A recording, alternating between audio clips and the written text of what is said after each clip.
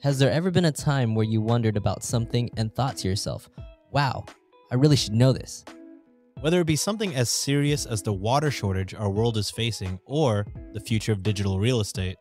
Or maybe something as strange as the origins of the Mandela effect, or what does Michelin have to do with food, or if lizard people actually exist. Whatever it may be, we got you covered. But that's not all. We turn it into one big drinking game. Welcome to Shots and Thoughts, the internet's only educational improv comedy game show involving shots of liquor and D20s. We're learning what you should already know so you don't have to. We are we are we are cultivate cultivate cultivate cultivate cultivate cultivate. We are Cultivate.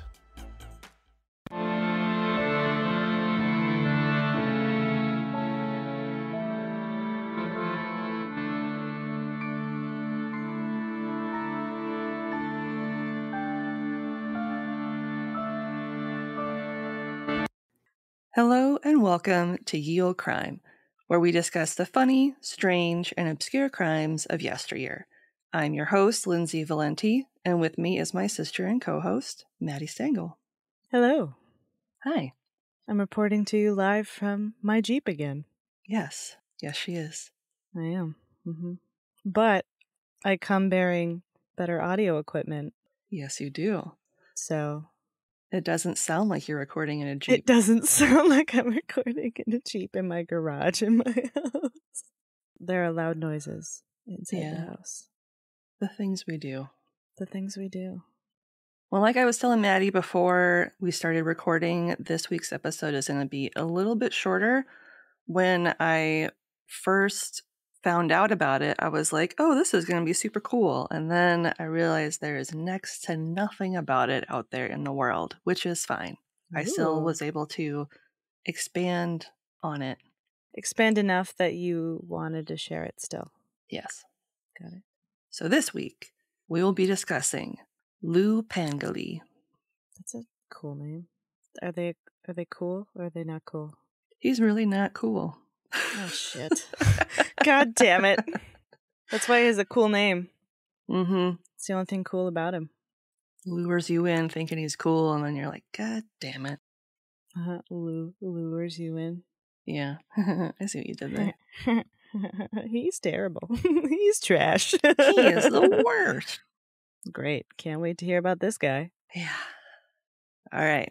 Information was pulled from the following sources a 2021 The Lineup article by Oren Gray, 2021 Medium article by Alexa Boxock, 2019 The Historian's Hut article, 2017 Listverse article by Lee Drake, The World Encyclopedia of Serial Killers, Volume 2, E through L by Susan Hall, Uh oh. Spoiler.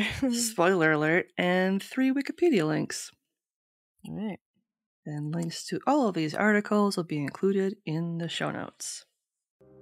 If you want a playlist of all our episodes on YouTube, click the link in our show notes or in our link tree and subscribe today for not only a list of our full catalog, but a separate list as well, just of our Can You Crack the Cramp Word segments.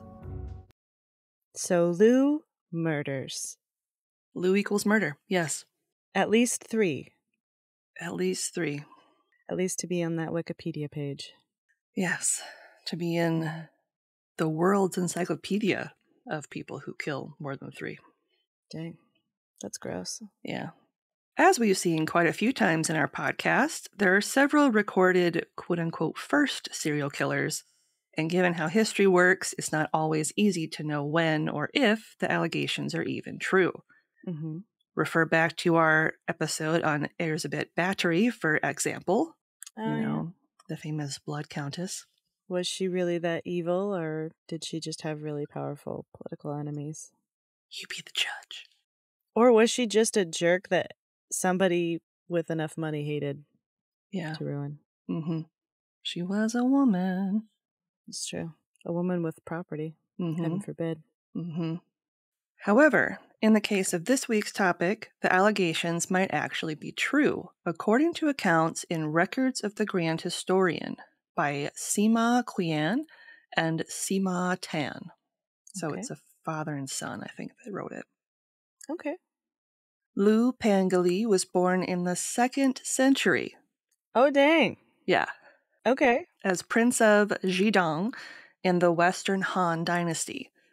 The Han Imperial Dynasty of China had two periods the Western Dynasty, which lasted from roughly 202 BC to 9 CE, so that's Common Era, Mm-hmm. and the Eastern Dynasty, which lasted between 22 to 220 CE.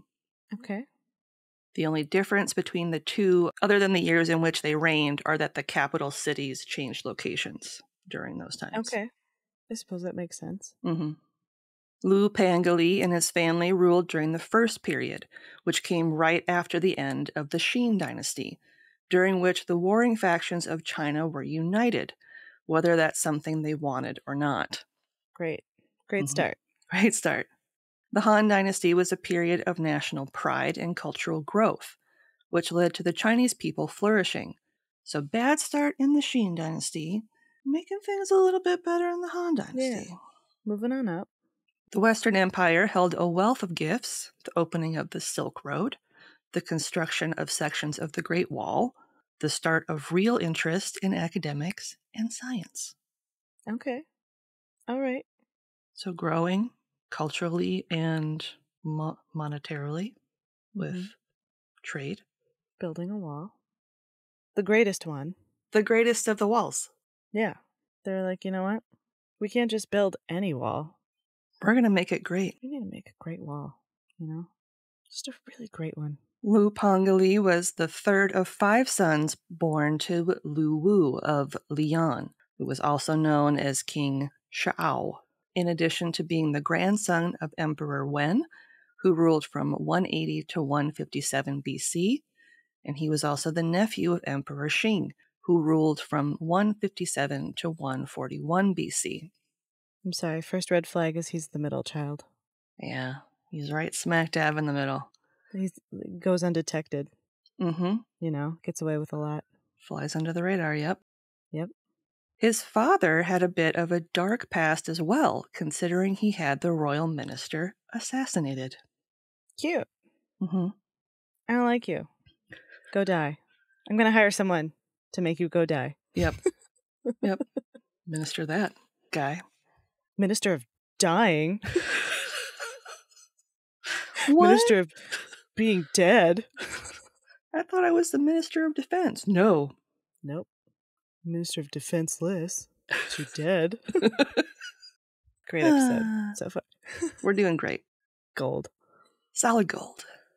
King Xiao, who was the younger brother of the future Emperor Jing, ruled over one of the most powerful kingdoms in the empire and was a contender to be next in line for the imperial throne before Emperor Jing nominated his son as his successor, not his younger brother.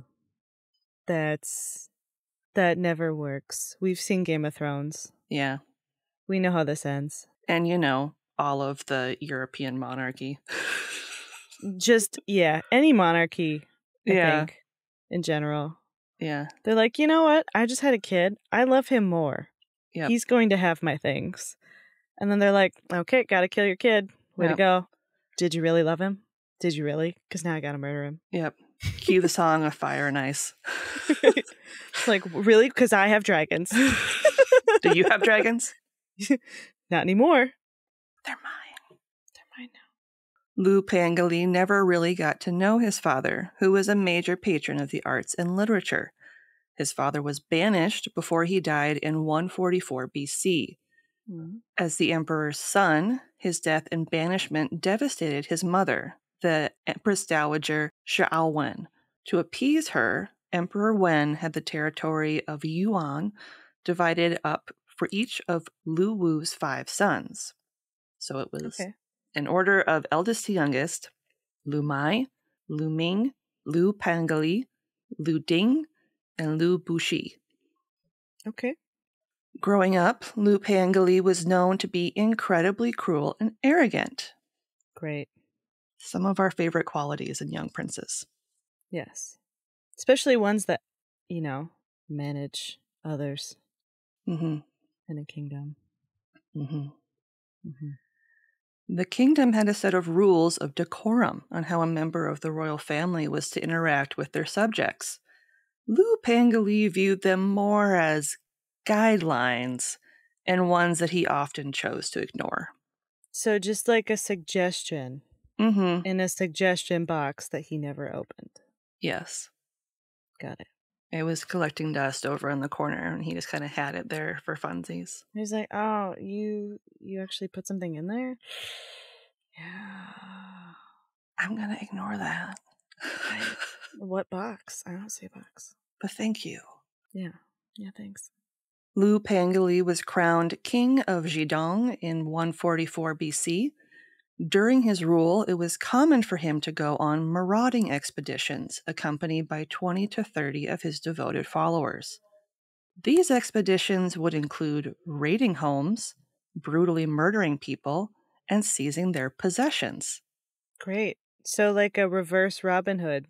Hmm Cool. And he did this for sport. Sounds like it. Sounds like, you know, again, Game of Thrones. When they Mhm. would like go on little hunting excursions It's like a baby was about to be born. They're like, "Hey, instead of welcoming chil- children, let's get rid of them." hmm Cute. It's believed that prior to him being crowned king, he either had a spotless record or was very good at covering his tracks. I'm going to lean t- more towards the latter one, Yeah. Yep. Coming think so, from a powerful family. Following his coronation, he began to surround himself with people who had, shall we say, less than savory motives. Great. Great. And this wasn't just something that happened a handful of times. These raiding parties went on for, wait for it, 29 years. Great. How often would he have these parties? I don't know, but he had them enough during those 29 years that the people of his kingdom were terrified to leave their homes and would barricade themselves inside each night. Great. Just what you want. Yeah, so he's doing this to the his own people in his kingdom. Yeah, like not a rival No, kingdom. no, like not not one of his brother's kingdoms. He's doing it to his own people. Great. Mhm. He's like the kid with the magnifying glass on an ant farm in the Yes, sun. yes. Great. Emperor Jing, the reigning monarch and Liu Pengli's uncle, was unaware of his murderous exploits until one day in 116 or 115 BC, the son of one of his many victims sent a message about the activities the king of Jidong had been taking part in. Did he really not know? Did he really not know? Like at all? I have no idea. No inkling? If he's got like a a gaggle of dudes just like murdering with him for fun. Anywhere from like one event a year to like one event a month. Yeah. Maybe on Wednesdays. I don't know. Yeah. Or marauding Mondays or whatever it was. Yeah. The full moon. Needless to say, the emperor was horrified. Yeah, I bet. By the time Liu Pengli's murderous outings were finally stopped, it's believed that he had murdered over 100 people. That's actually less than I thought it was going to be for 29 years. Yeah, I mean, it's still over three. Yeah, it's a, it's a few over 3 mm-hmm. Just a handful. The court demanded Liu Pengli's execution, but Emperor Jing could not kill his nephew.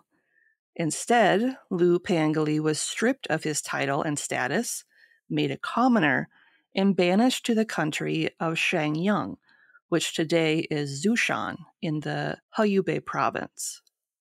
I think he should have been released to his own people. Yeah, You don't want to kill him? Let them kill him. that's true. You know? Unfortunately, that's where the story ends. I doubt that the emperor stayed his execution out of any sort of familial love. Mhm. More likely, it was to ensure that Liu Pengli's brothers didn't band together to retaliate against their uncle. It's also Oh. theorized that Liu Pengli was executed discreetly upon his arrival to Shangyong. Probably. That's what I'm thinking. Yeah. Because he wouldn't have been, he would have been just as much of a threat anywhere he would have gone, hmm especially after being, you know, spurned like that. Yeah. There is also the theory that Liu Pengli was in fact framed. Emperor Wu and his father before him, Emperor Wen, had been dividing up the ancient feudal kingdoms of China in an effort to weaken them, much like Emperor Jing did when he divided the kingdom of Liang into five pieces for all of King Xiao's sons. Mm-hmm. Following King Jidong's banishment, his kingdom was dissolved and the land was once more brought under the jurisdiction of Emperor Wu. And at the end of the day, we really can't know the full real story of Liu Pengli, Yeah. considering this happened over 2,000 years ago. But if it is true, it would make him one of the first serial killers in known history. And the thing people need to realize about this story is the whole story of this event happening is a paragraph in this book about the grand historian. What I've been able to extrapolate was based off of one paragraph, like basically a footnote Dang. about him. Dang. Good job. Thanks. Nice forensicing. Thanks. Yeah, this is probably the shortest episode that I've ever written, but it was still like interesting enough where I was like, I kind of want to talk about this guy. Yeah. I mean, could it have been a political thing? Yeah. But at the same time, I think that that's feasible. It, like, especially if you think of uh, family and power Mhm. with sons unchecked, essentially, Mhm. with land that nobody's supervising. Yeah. Well, and it could be something too where maybe like all the gossip, it was all gossip. And then when he was banished, the emperor is like, "Oh, I'm saving you guys. Look at how look at Mhm. how great of an emperor I am. I'm saving you Yeah. guys." You know? Mhm. I don't know. I don't know anything about Yeah. Chinese politics or Chinese dynasties. Especially 2,000 years ago. Yeah. So hopefully no one who's a great ex descendant of these people is going to come after me and be like, "Actually, It'd be fun. It'd be actually pretty great if they could tell you. yeah, if there was some Be hidden like, text somewhere." Listen, the familial rumor mill from 2000 years ago is this. My great, great, great, great, great, great, great, great, great, great, great, great, great, great, cousin Jeff knew him, you know, of the house of Jeff. met him at a party. He tried to kill him. It was a thing. it was a thing. And he It was like, thing. dude, bro. he survived, and he was like, "You gotta fix this kingdom, man. I'm gonna send a carrier pigeon to the wall the And out. instruct the pigeon to fly over said wall and not Yeah. into said wall because Right. it won't get very far if it does that. it actually that was the reason why he kept murdering is there were many failed pigeon attempts because they didn't realize that there was a wall being constructed and it inhibited their current path that they had done for the last hundred years hmm They Mhm. weren't prepared. they weren't It's like when a new freeway opens in like deer territory and they have no Oh my idea that there's a freeway there now. Yeah. It's a slaughter. Yeah. Looking for more content? You can find us online at yeoldecrimepodcast.com. If you'd like to see pictures from this week's episode, not to mention bonus content and funny memes, make sure to follow us on Twitter at Ye Olde Crime Pod and on Facebook and Instagram at Ye Olde Crime Podcast. On TikTok, of course you are. Follow us at Ye Olde Crime Podcast.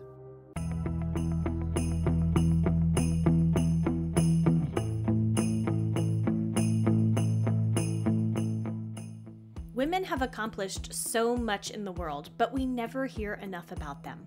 Well, we'd like to change that. Welcome to the Riveting Rosies podcast with Carissa Decker and Elise Cantu, where we'll be sharing the incredible stories of amazing women and how they've changed the world. Our goal is to leave you feeling inspired and empowered by the great women who have come before us. While most of the stories we will be sharing with you focus on the positive and wonderful things women have done, we will occasionally tell the tale of a woman who decided not to use her powers for good, We've come so far. but there's still progress to be made So roll up those sleeves and let's get to work. because everything's coming up Rosies.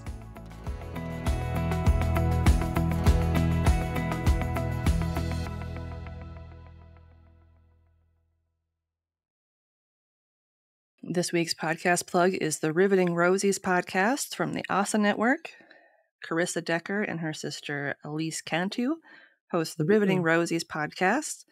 Their goal is to share the stories of badass women you may not have previously heard of, reminding us that amazing women have always done incredible things and always will. Nice. And you can join them in their fight against the patriarchy by clicking the link in our show notes. Do it. And this week's listener question comes from our listener, Kellyanne. Hi, Killian. She would like to know Would you rather have visual hallucinations of the Ring Girl or Freddy Krueger from A Nightmare on Elm Street? The Ring Girl. I agree. I'd rather see Samara than have Freddy Krueger come and like just surprising me out of the blue. Yeah, because I can I can dissociate her out of my vision easily. You know, Mm-hmm. like, do I see that girl, or is that just a shadow next to a wall? Mm-hmm. I'm just I'm, I'm gonna say a shadow next to a wall. I don't want it to be a girl. Yeah. I'm just gonna say it's a random tree that's in my house. Right. Yeah, like wow, there's a really it's a weird black and white tree in my house. When did I buy that palm? I don't know, but it's just gonna sit over there in the corner of my vision. It's fine. Has that has that corner always been wet? Is that well water? Do I smell moldy water? What Why is does it this? smell so mildewy in here? Is it damp? It's so damp in my house now. At least we don't need a humidifier, I guess. You just you just keep getting those like damp rid things. You, you just put it next to the hallucination. Like, sorry, you just you just smell. I'm just gonna put this here. Hopefully, it'll absorb your or- odor. I have like a mind, little right? like kiddie pool in like one corner. I'm like, you can stand in here, so then when you're leaking water everywhere, you know, it's not damaging the wood floors or ruining the carpet. Do you think she'd still have power if there's if there's no like VHS or DVR or like Blu-ray? I don't know. Yeah, what would she crawl out of? People don't have tube TVs anymore. They don't. They don't. Or they're using them as like Fish bowls. Yeah. Could you imagine? She's just like super surprised. She's like, "Why is there a pufferfoot fish? I'm supposed to be murdering you." Yeah. Why am I surrounded by tiny little Like- guppies right now? I am She's just furious. underworked, feeling not appreciated. She's like, "I haven't cursed anyone in so long."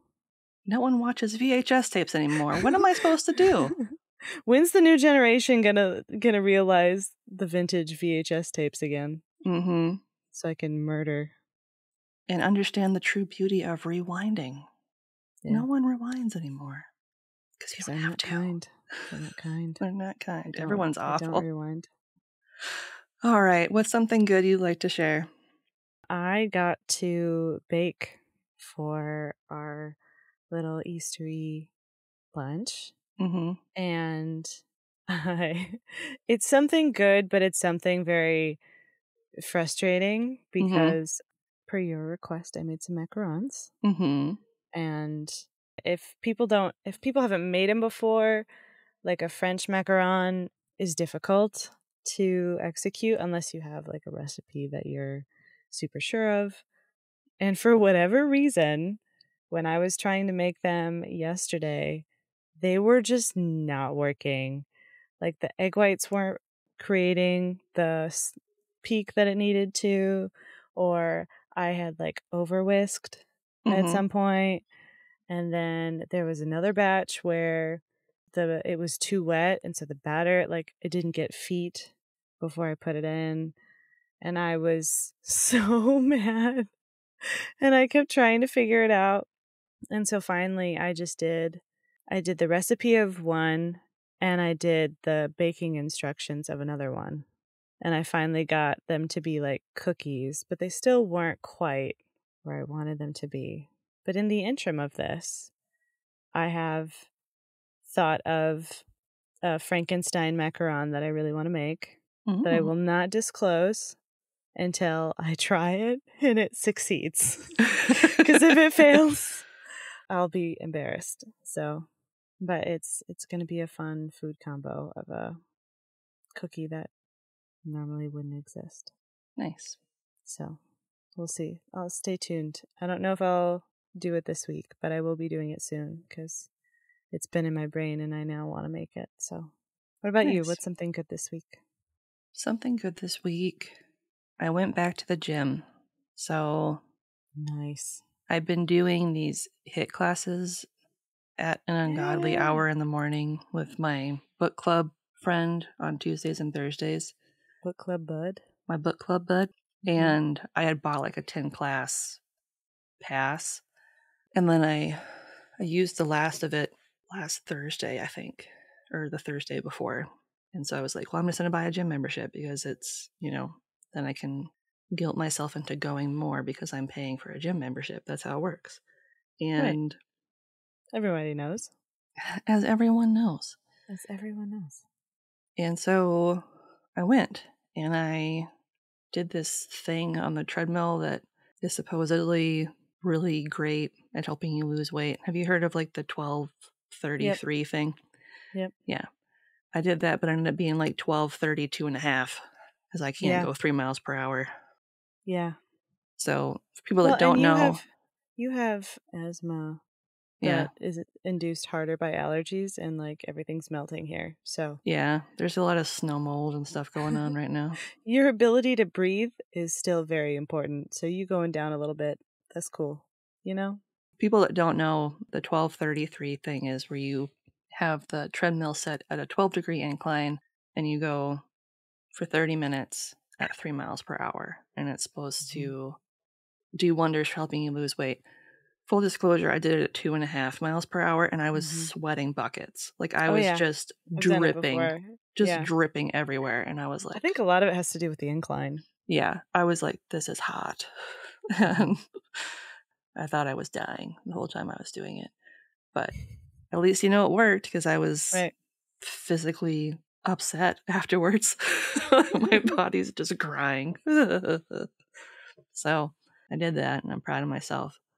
And I'll at some point probably go back and do it again this week. Yeah. Make my body cry. Make it cry.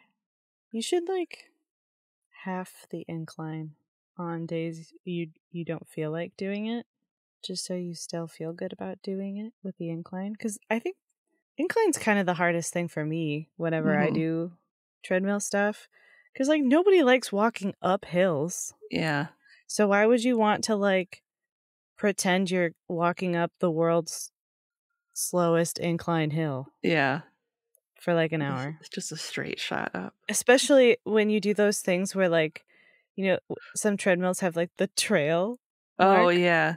and then it's like you're going through this really nice forest or whatever and you're still seemingly climbing up and you're like this sucks yeah, even the vid- the videos like going down and Right. stuff, and you're like, I'm not doing that. like i want to go down instead of up why is this happening Why am I still going up? I'm supposed to be going down. your brain is just really upset hmm And then Samara shows up, and you're like, God damn it! Like, no it smells like mold Someone turn just- on the fan. just because i chose the rainforest doesn't mean i wanted to smell the rainforest okay yeah, who who brought a vhs tape I Put it didn't back. even know these TVs were compatible with it. Put it. back. Do you guys even know what that is? Put it back. Yeah, the time I went, it was mostly like high school boys that were there, and I was like, cool. Wow. Mm. Yeah, What up, bros? Yep. All right, shall we? we shall. If you're interested in ad free content, consider supporting us with a one time donation either over on Buy Me a Coffee or our Venmo page, both of which are in our link tree and in the show notes. If you'd like early ad free content, not to mention some bonus material, become a member of our Patreon today for as low as a dollar a month. If you'd like to support the show, you can't do so financially. You can leave us a five star rating and review wherever you listen to podcasts such as Apple Podcasts, Podchaser, Good Pods. And I know there's a few others that do it. We're also, this is a great plug for me, we're also doing another giveaway the throughout the rest of April. So we'll be and also into May. We'll be doing a drawing at the end of May for everybody who submits a review. And everyone wins something. So Nice. this is a good incentive to submit a review for the show. Absolutely. And this week's comes from Apple Podcasts from user Diana Mo. Hmm. Or Diana Mo, but it's got Oh. like Diana in the front part of it. Nice. Anyway, it says, so funny. The jokes just keep coming. That's what I'm all about. Cramp words is always in the back of my mind now. When I hear a new term in a period show, I'm like, I wonder if they've done this one yet. Nice. Thank you. That's so cute. That is cute. Got something you want to say? Shoot us an email over at yeoldecrimepodcast at gmail.com. We'd love to hear your story ideas, see any gifts you send our way, or if you just want to say hello. We're pretty friendly. Speaking of friendly, if you'd like to have real time conversations with us, consider joining our Discord over at the Cultivate Network. You can chat with us over at the Old Crimers Cubby or catch up with any of the other great creators that are part of the Cultivate family of podcasts. Just click the link in our show notes or over on our link tree to get started today. And on that note, as always, I'm Lindsay, And I'm Madison, and we'll see you next time with another tale. As old as crime.